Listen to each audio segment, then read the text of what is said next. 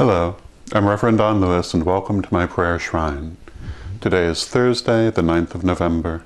Thank you for joining us for our prayer.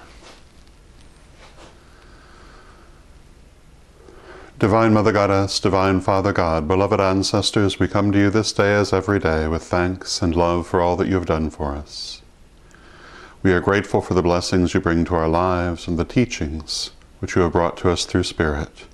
We pray that we may walk ever more closely with you beloved guides, beloved ancestors, beloved deities, and that we shall never lose sight of you, for we know that you would never lose sight of us, and we pray that you will send us energy, strength, healing where it is needed, and that you will send this to all who are in need of it.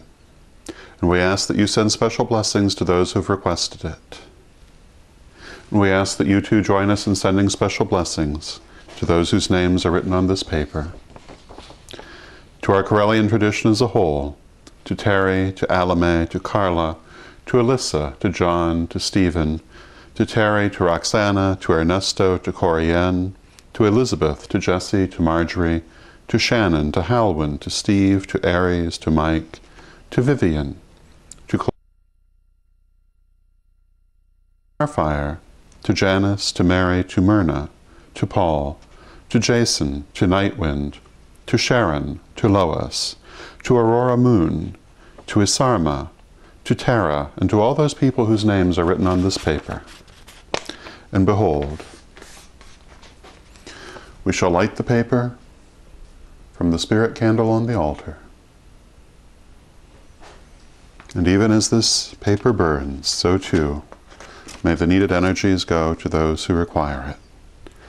Let us open our heart and send energy from our heart into the flame. See it going into the flame, taking with it our wishes for healing, for blessing, for strength, for comfort, for whatever is needed.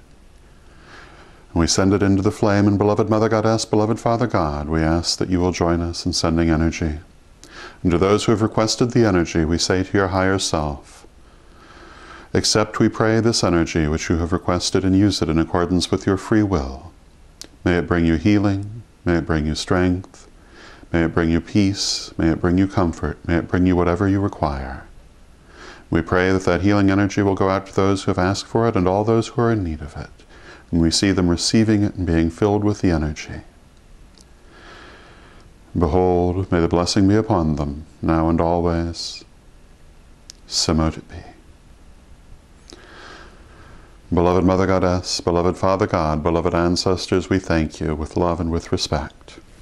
And we thank you too and hope that you will join us again tomorrow for our daily prayer. May the blessing be upon you in all ways.